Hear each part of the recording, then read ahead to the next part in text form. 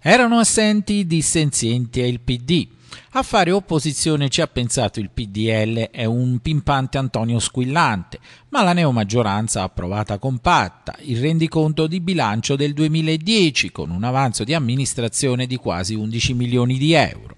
Ultimo consiglio comunale dell'anno caratterizzato proprio dalle assenze del PD e degli indipendenti. Nella relazione sul rendiconto di bilancio 2010 l'assessore Giacomo Sorrentino snocciola i dati. 37 milioni di euro di residui attivi, di cui 40 451.000 eliminati, 34 milioni di residui passivi, di cui 390.000 eliminati, un fondo cassa di 6 milioni e 300.000 euro, 36 milioni circa di entrate e 27 di uscite, per un importo complessivo avanzo di amministrazione al 31 dicembre 2010 di 10 milioni 881.000 euro e con una capacità di indebitamento pari al 5% e alla riscossione del 94% dei fitti comunali comunali.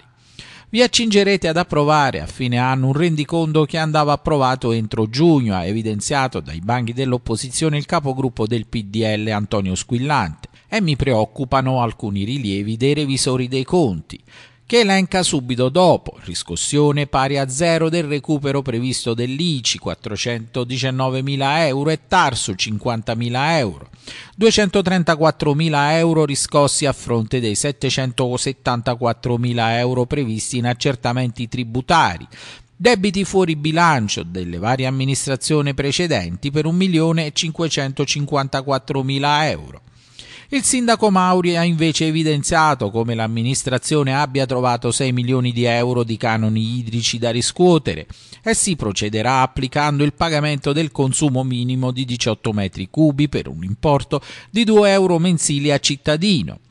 Rendiconto approvato con gli 11 voti della maggioranza, contrari tre consiglieri del PDL. Sulla questione tributi, sulla chiacchierata gestione Sogget interviene invece Marcello Ferrara, nuovo cardine dell'esecutivo Mauri. A me non interessa, l'ho detto già in qualche consiglio comunale, la Sogget o un'altra ente, a me non interessava quale fosse l'ente ad occuparsi della riscossione diciamo, di questa illusione che c'è stato nel corso degli anni. A me andava, eh, non andava giù il fatto che tutti non pagavano, c'era una parte di eh, contribuenti che per molti anni forse sono state poco attenti, l'ho detto già in qualche consiglio comunale, quindi il fatto che poi ci sia una società o meno a me non mi è mai interessato il nome della società, ma mi va di fare mio il motto pagare tutti, pagare meno. Questa sera tra gli altri argomenti eh, ci sono molti debiti fuori bilancio cui l'amministrazione guidata dal sindaco Pasquale Mauri prende la responsabilità e chiede un gesto di responsabilità anche alle opposizioni.